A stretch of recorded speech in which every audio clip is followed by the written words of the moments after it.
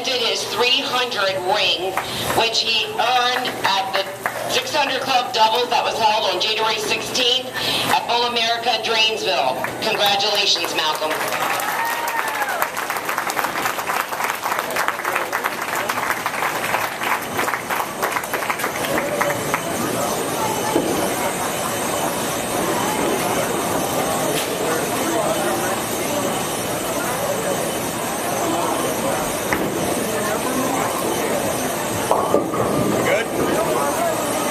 Number three.